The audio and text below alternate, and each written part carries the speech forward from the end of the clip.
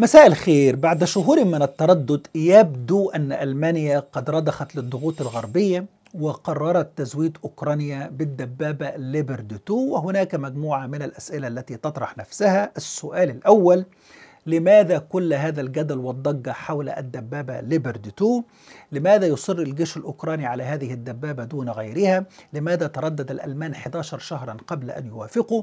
والأهم ماذا يعني أن يحصل الأوكران على الدبابة الألمانية المتطورة. قبل محاولة الإجابة على هذه الأسئلة أذكركم أن أنا استخدمت كلمة يبدو في بداية كلامي كنوع من التحفظ لأن الإعلان الرسمي عن الموافقة الألمانية إعطاء الأوكران هذه الدبابة لم يتم حتى وقت تسجيل الحلقة ظهر يوم 25 يناير 2023 والموافقة حتى هذه اللحظة عبارة عن تصريحات خارج التسجيل وتسريبات من مسؤولين ألمان وأمريكان لوسائل إعلام كبيرة مثل سي إن إن وول ستريت جورنال شبيجل الألمانية. الإعلان الرسمي من المفترض أن يتم من جانب الحكومة الألمانية خلال ساعات لكن المفاجآت دائما واردة. نعود إلى إجابة الأسئلة التي طرحتها في بداية الحلقة والإجابة عليها تقتضي أن نفهم السياق العام والسياق العام بسيط جدا. الجيش الأوكراني منذ اندلاع الحرب في فبراير من العام الماضي وله طلب واحد رئيسي صبيحة كل يوم من كل حلفائه من حلف شمال الأطلسي والدول خارج حلف شمال الأطلسي السلاح ثم السلاح ثم السلاح. أي نوع من السلاح؟ السلاح الروسي في المقام الأول والسلاح الغربي في المقام الثاني. لماذا السلاح الروسي في المقام الأول؟ لأن التسليح والعقيدة عقيدة الجيش الأوكراني هي تسليح وعقيدة روسية بامتياز وبالتالي الأسهل للجيش الأوكراني أن يحصل على مزيد من الأسلحة الروسية لتعويض ما يفقده من هذه الأسلحة في المواجهات مع الروس. هو تعود عليها يجيد استخدامها يسهل صيانتها لن يحتاج وقت لتدريب ضباطه وجنوده على هذه المنظومات كما هو الحال في منظومات التسليح الغربية التي لم يألفها. هو بصفة عامة حلف شمال الأطلسي بدأ يبحث عن الأسلحة الروسية في مخازن كل الدول الصديقة والحليفة بكل أنواعها ويعطيها للجيش الأوكراني. وبما أننا نتحدث عن الدبابات سوف أعطيكم مثال مهم.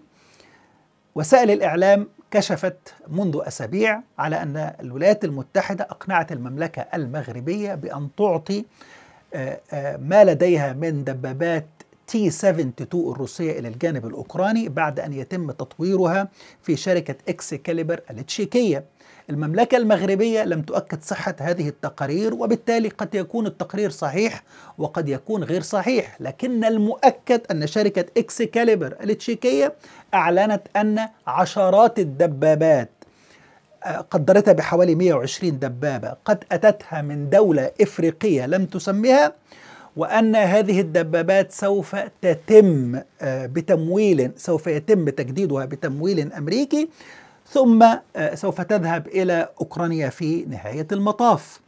بالإضافة للأسلحة الروسية بدأ الجيش الأوكراني يطالب الغرب بمنظومات تسليح غربية متطورة. في البداية امتنع الغرب عن تزويد أوكرانيا إلا بأسلحة يعتبروها دفاعية بامتياز وبالتالي فيما يتعلق بالدبابات لم يقدم حلف شمال الأطلسي إلا ناقلات الجند المدرعة الدبابات الخفيفة ورفضوا تماما أن يعطوه ما يسمى بدبابة القتال الرئيسية. ما هي دبابة القتال الرئيسية وما الفرق بينها وبين الدبابات الخفيفة أو ناقلات الجند المدرعة؟ ناقلات الجند المدرعة عبارة عن عربات بتنقل المشاة من مكان إلى مكان مثل ال lorries لكنها ليست مكشوفة مثل العربيات اللوري يعني هي عبارة عن عربات مدرعة مدرعة أي محمية من القذائف المختلفة ويعني قدرتها على القتال محدودة جدا لأن هدفها نقل الجنود من مكان إلى آخر. الدبابات الخفيفة أكثر تدريعا أكثر قدرة على إطلاق النيران. أما دبابة القتال الرئيسية فلديها إمكانيات كبيرة جدا قدرة هائلة على القتال والاشتباك واختراق صفوف العدو مدرعة من أسفل ضد أنواع مختلفة من الألغام مدرعة من أعلى بشكل قوي جدا لحماية من يستخدمها من الجنود. عندها مدافع لديها قدرة كبيرة جدا على إنتاج النيران مزودة بأسلحة متطورة للتشويش على أجهزة رادار العدو عندها قدرة كبيرة على العمل ليلا والرؤية ليليا دقة التصويب المناورة السرعة إلى آخره. الأوكران منذ بداية الحرب وقع اختيارهم على الدبابة ليبرد 2 وتقدموا. هم كانوا يعني الحقيقة يعني يتمنوا إحدى الدباب دبابتين إما إم 1 إبرامز الأمريكية أو ليبرد 2 الألمانية. إبرامز الأمريكية كانت خارج المناقشة رفض الأمريكان قولا واحدا منذ البداية ولذلك اهتم الأوكران منذ البداية بالليبرد 2 الألمانية وتقدموا بطلب رسمي للسلطات الألمانية متى تقدموا؟ يعني في الأيام الأولى لاندلاع الحرب تحديدا في 3 مارس 2022 أي بعد سبعة أيام فقط من اندلاع المواجهات العسكرية أو الغزو الروسي لأوكرانيا إذا المسألة ليست جديدة ما الذي جددها؟ الذي جددها أنه مجريات الحرب في ميدان المعركة إنه في قناعة اولا في كثير من الخطوط الحمراء اللي كانت بتحكم هذا الصراع مع طول أمده بدأت تتلاشى وبدأ الغرب يقدم أسلحة صعب أن يتم وصفها بأنها أسلحة دفاعية. ثم إنه القناعة لدى الأوكران ولدى حلفاء أوكرانيا أن الجيش الروسي يستعد لهجوم شامل مرة أخرى على كثير من المدن الأوكرانية وهناك تخطيط أوكراني بضرورة الاستعداد لهجوم مضاد على القوات الروسية لاسترداد الأراضي التي احتلوها على الأقل منذ فبراير 2022 وبالتالي يستعد الجيش الأوكراني لهذا الهجوم الروسي من ناحيته. والهجوم المضاد الذي يعتزمون القيام به على القوات الروسية في المدن التي احتلوها من ناحية أخرى. في الحالتين هم في حاجة للتزود بأكبر عدد ممكن من الدبابات. حددوا احتياجاتهم ب 300 دبابة بالإضافة طبعا إلى احتياجاتهم من المدافع والصواريخ إلى آخره. وركزوا على الدبابة ليبرد 2 لماذا ليبرد 2 اولا لأنها واحدة من أفضل الدبابات في العالم ثانيا لأنها متوفرة جدا في يعني مخازن الدول الصديقة. التقديرات بتقول أن هذه الدبابة ليبرد 2 التي دخلت الخدمة بداية من عام 1979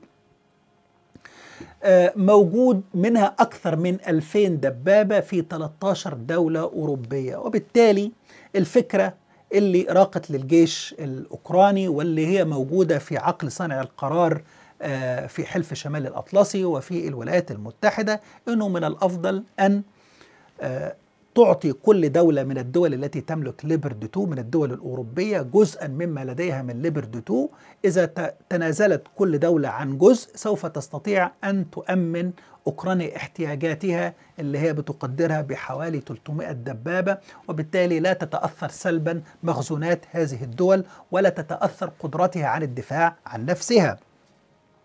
لكن المخطط ده بيعتمد على موافقة ألمانيا.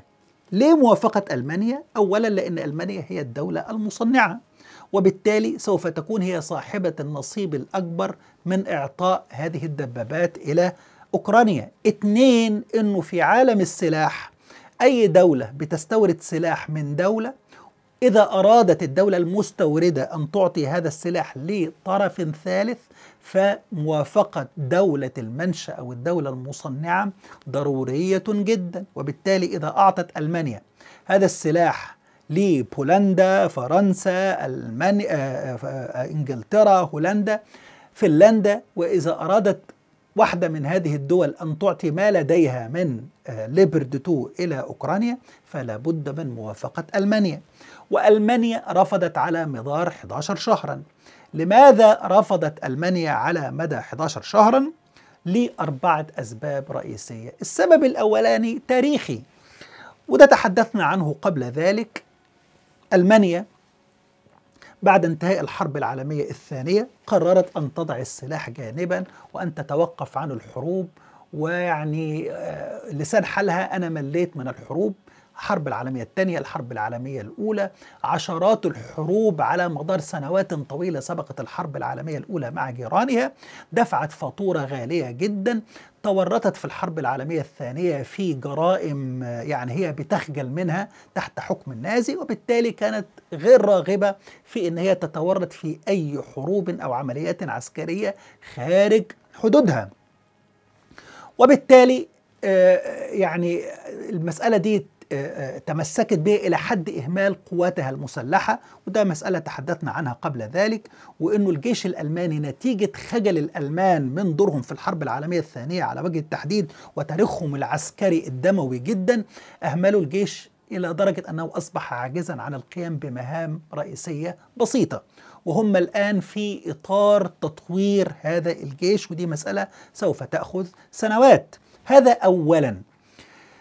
الاعتبار الثاني اعتبار عسكري إنه آه طبعا قبل ما انتقل إلى الاعتبار العسكري ألمانيا بدأت بالفعل يعني تدريجيا آه في العقود الثلاثة الماضية إن هي تخالف توجهها اللي استقرت عليه من الحرب العالمية الثانية وبدأت تشارك في عمليات حفظ السلام في دول معينة ثم انتقلت من عمليات حفظ السلام للمشاركة في عمليات عسكرية ضمن تحالف وهي مشاركة محدودة في الحرب حرب التحالف اللي قادته أمريكا في أفغانستان بعد أحداث 11 سبتمبر.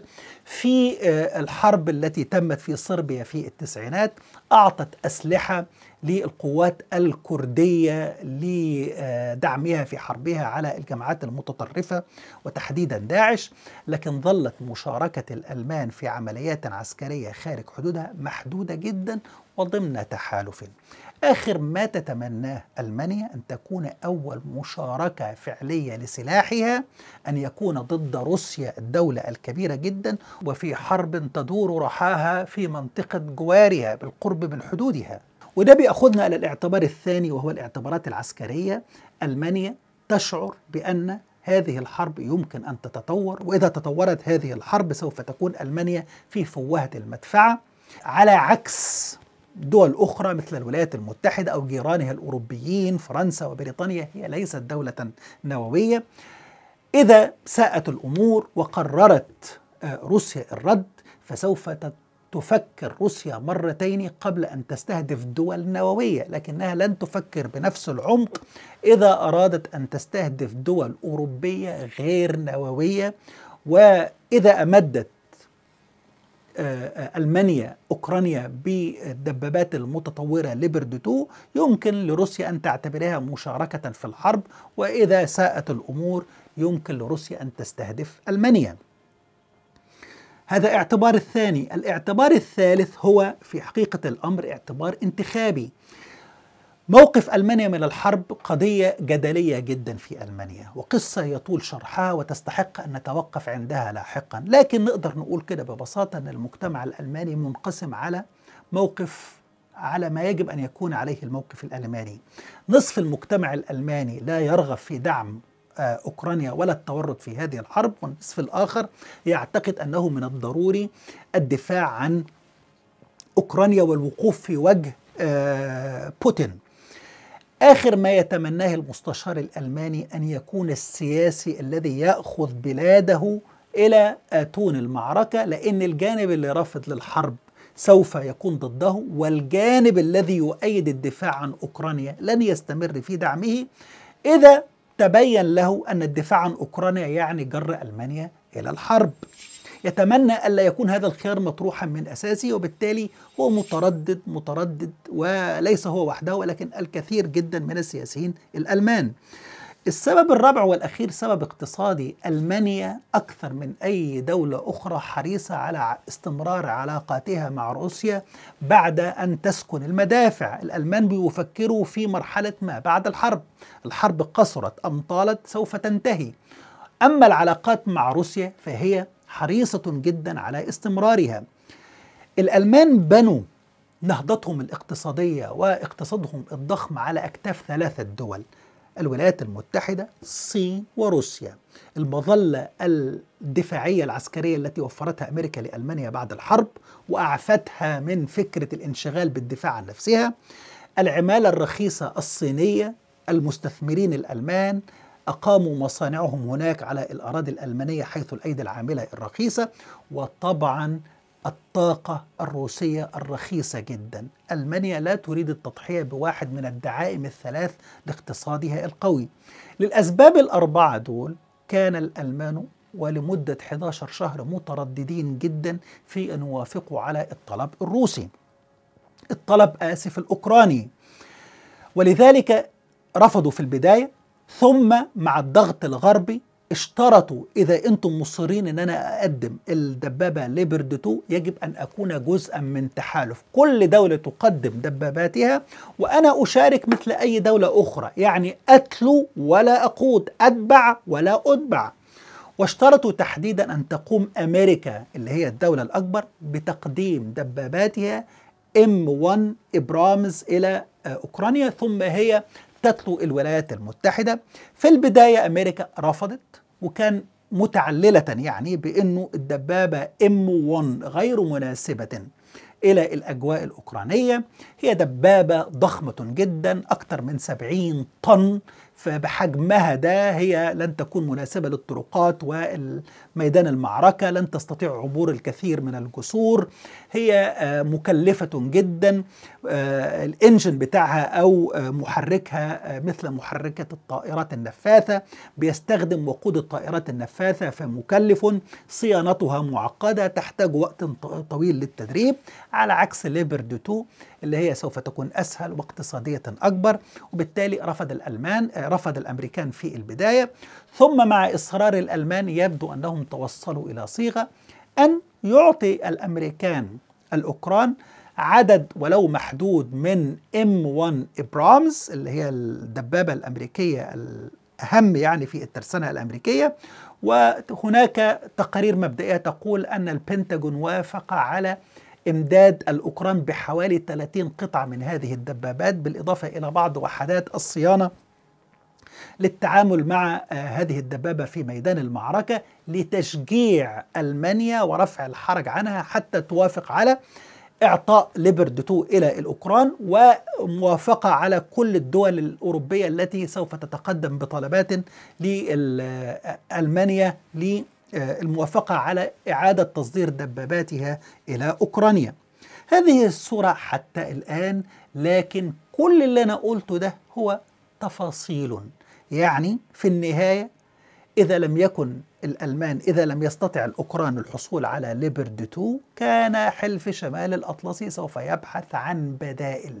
الجدل النهاردة عن على آه ليبرد 2 بالأمس كان موجودا على آه يعني أنظمة الدفاع الجوي صواريخ هيمارس غيرها من منظومات التسليح المختلفة وغدا سوف يكون الجدل على منظومات تسليح ربما لدول أخرى فرنسا هولندا فنلندا إلى آخره. الحرب تتطور واحتياجات أوكرانيا تزيد وبالتالي المشكلة الرئيسية أو العامل الرئيسي هو أن يحدد الغرب موقفه من هذه الحرب.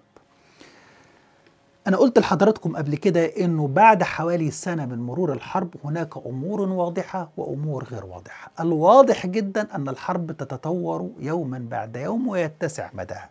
الواضح جدا أن الطرفي الحرب الرئيسية قد حسموا موقفيهما. الروس عازمون على الاستمرار في هذه الحرب حتى تحقيق أهدافهم وأوكرانيا مصرة على الاستمرار في الحرب حتى تحقيق أهدافها.